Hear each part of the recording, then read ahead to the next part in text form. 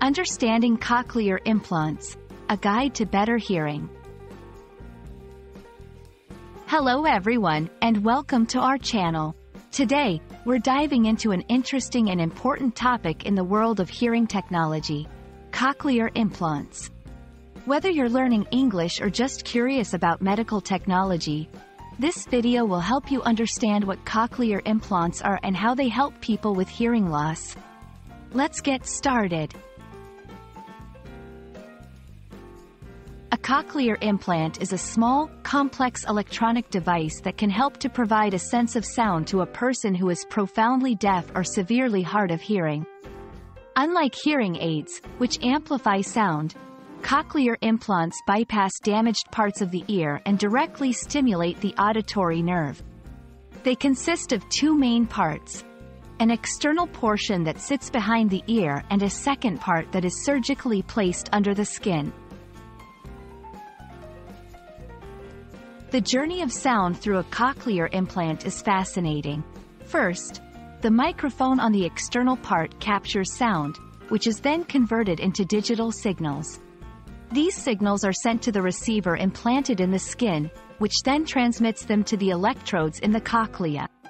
These electrodes stimulate the auditory nerve, sending signals to the brain that are interpreted as sound. It's important to note that the sound quality is different from natural hearing, but it can be life-changing for those with severe hearing impairments.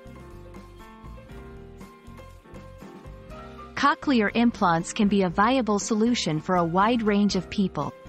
They are primarily used for individuals who have severe to profound sensorineural hearing loss in both ears, have limited benefit from hearing aids, have no medical conditions that would make the surgery risky, and have a strong desire to be part of the hearing world. Children as young as 12 months old can receive implants, which can be critical for speech and language development. Obtaining a cochlear implant is a journey that involves several steps. It starts with a thorough evaluation by a team of health professionals, including an audiologist, an ENT doctor, and a speech therapist. If a person is a candidate, they will undergo surgery to have the implant placed. This is followed by a period of healing and then activation of the device. After activation, auditory training and therapy are crucial to help the brain learn to interpret the new signals as sound.